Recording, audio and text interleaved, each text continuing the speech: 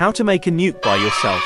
Making a nuclear bomb is a highly dangerous and illegal activity, but imagine a world that there's no legal issue against making nuclear bomb and you want to make one. The most important step for creating a nuclear bomb is to know about the fuel used in such a device. There are two primary elements that can be used, uranium and plutonium. However, it is important to know that these elements need to be in a specific form. Uranium, as found in nature, primarily consists of three isotopes, uranium-238, which makes up about 99.3% of natural uranium, uranium-235, about 0.7%, and uranium-234, a trace amount, around 0.01%. Uranium-235 is the isotope that is fissile, meaning it can sustain a chain reaction necessary for a nuclear explosion. In its natural state, uranium is not suitable for use in a nuclear weapon. It must undergo a process called enrichment to increase the concentration of uranium-235. This process involves separating the isotopes to achieve a higher proportion of uranium-235.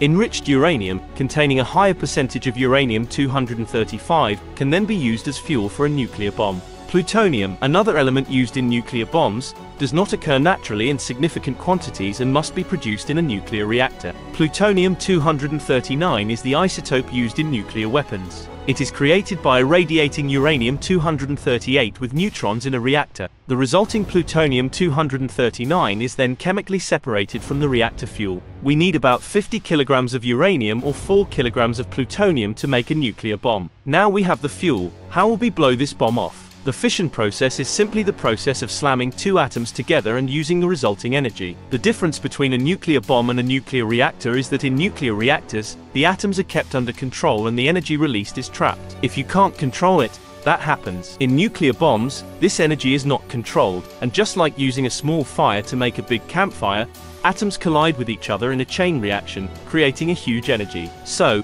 we have the fuel and we know how to use it, how do we turn it into a bomb that actually works? In nuclear bombs, there is a chain reaction and a lot of energy is released. But how do we make sure that this energy is released exactly when we want it to be released? By controlling our atoms. When we want to react atoms, we use beryllium and polonium, which are the two sources of atoms in the bomb that we use. And when we want to trigger the atomic bomb, we use a simple explosive to react these atoms and they trigger the chain reaction of uranium. Alright, everything's ready. Now let's detonate the bomb. A few atoms are powerful enough to take the lives of millions of people.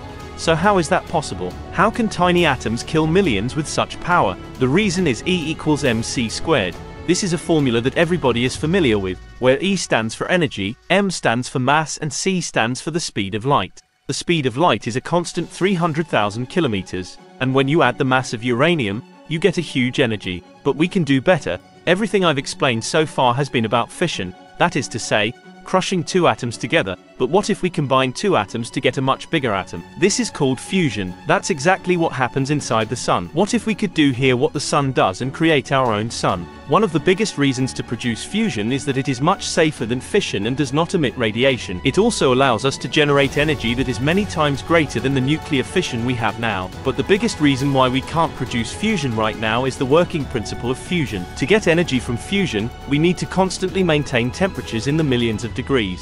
But this is all about the fusion reactor. To get useful energy, we need to run fusion reactors for long periods of time. But when we make a bomb, we don't need to control it for long periods of time. If we can only maintain it for a short enough time to make it explode, it will be many times more powerful than ordinary nukes. Edward Teller, who worked with Oppenheimer on the Manhattan Project, came up with this idea and called it the hydrogen bomb. What would happen if we used one atomic bomb to detonate another atomic bomb? This is where thermonuclear bombs, or hydrogen bombs, come into play. While even the first atomic bombs dropped on cities like Nagasaki and Hiroshima killed thousands, can you imagine how horrifying it would be to use these bombs as a trigger to detonate multiple atomic bombs? The hydrogen bomb does not use uranium as fuel, but deuterium and tritium, which are isotopes of hydrogen. The detonation part consists of three parts. The first stage uses an ordinary explosive to trigger the atomic bomb inside the hydrogen bomb. After the atomic bomb is triggered using the explosive, the atomic bomb explodes inside the hydrogen bomb.